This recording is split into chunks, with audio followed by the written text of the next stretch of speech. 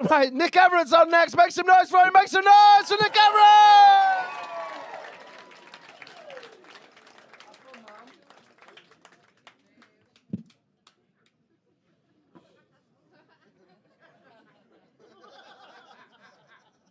Hello.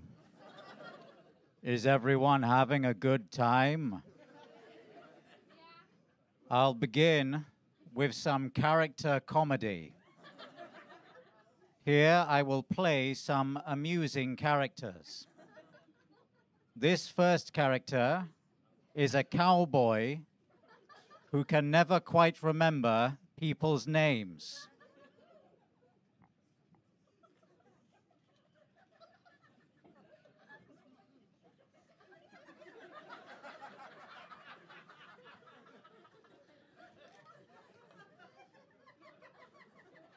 I don't recall the name.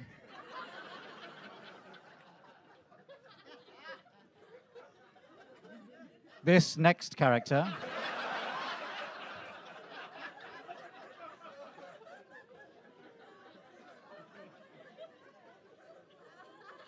is a mafia boss who builds disposable marine mammals. Okay, so that's a mafia boss who builds disposable marine mammals. I'm gonna make him an otter he can't reuse.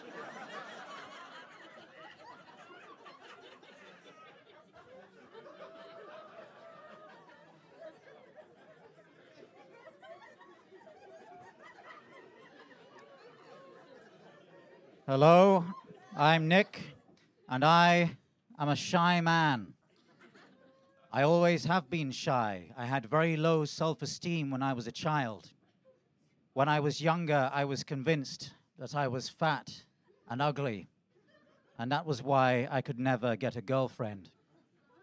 But now I'm older, I look back and reflect, and I realize that I was never fat, I wasn't ugly,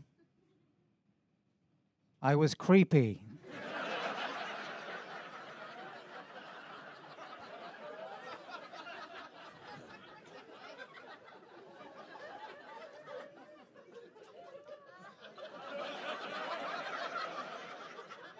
Look at me. And between you and I, I still am. I grew up in Portsmouth, but I live in London now. I love London.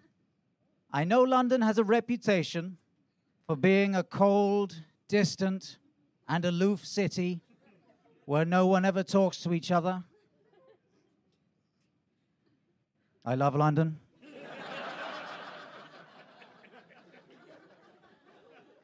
I've been in London for 10 years now. I don't know if that makes me a Londoner. I guess I'm starting to feel like a Londoner.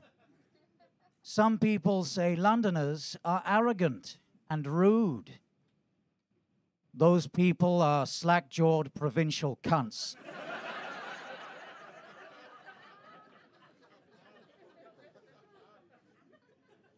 Before I go on, I have to do some admin. I have a joke towards the end of my set, which relies upon you knowing some background information. So, what I'm going to do is I'm going to tell you the information now so that when I deliver my second to last joke in about seven minutes' time, it will be funny. But this bit I'm doing now won't be funny because it's purely administrative. The information you need to know for my second to last joke to work is this. I don't hold my mother in law in very high regard. Okay. I'm not very keen on my fictitious mother in law. I've been doing a lot of thinking recently about what my vibe is. It's very important as a comedian to understand how you come across to an audience.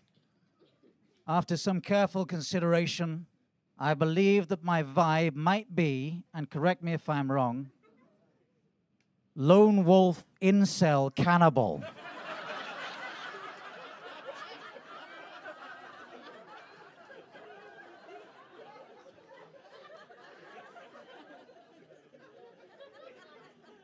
I wish this were not the case. I wish I had a cheeky, chappy persona. But I don't. Because I look like a German dentist.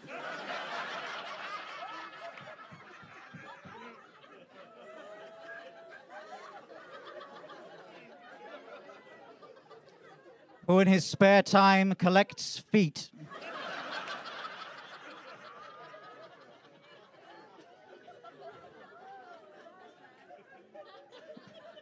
I look like I know a guy who can dispose of a body. And that guy is me. I look like my hobbies and interests include taxidermy, long evenings in with mother.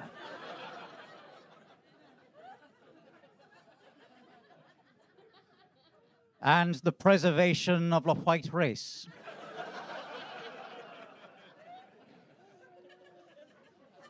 I jest, of course. Mother's dead.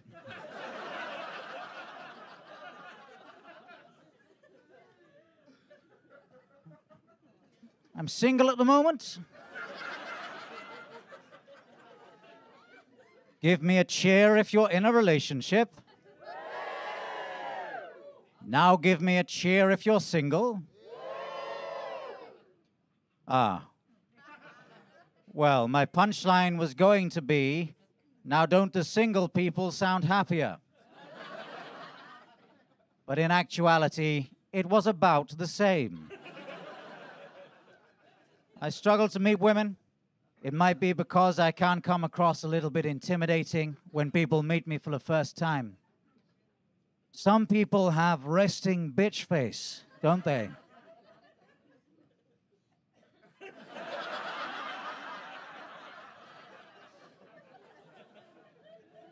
Not me. I have this resting mass shooter face.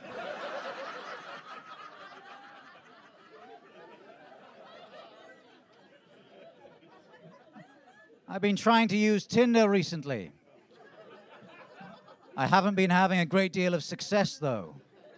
I fear my profile may be lacking something. Maybe if I read my profile to you now, you guys can offer me some feedback. So here is my profile. To whom it may concern.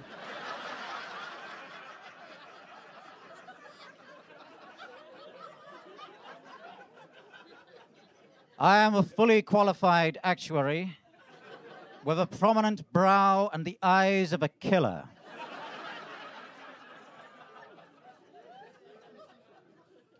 Seeks similar.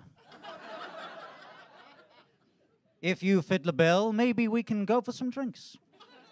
And who knows, if all goes well, perhaps you will allow me to show you my perineum. I don't want to be catfished.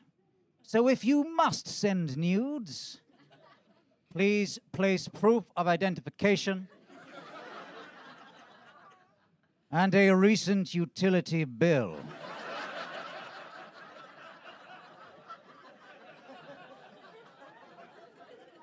adjacent to your genitals. Thank you for your due consideration and kind regards, Nick. P.S. I eat puss like it's my job.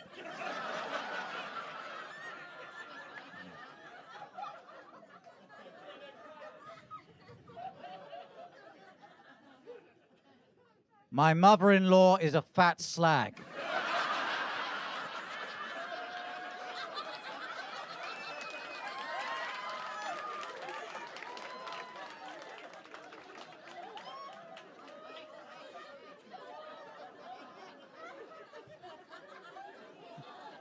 Now, in the interests of variety, I'm going to finish with a joke. and it is, in fact, a sexist joke. Doctor, doctor, I feel like a pair of curtains. Pull yourself together, man.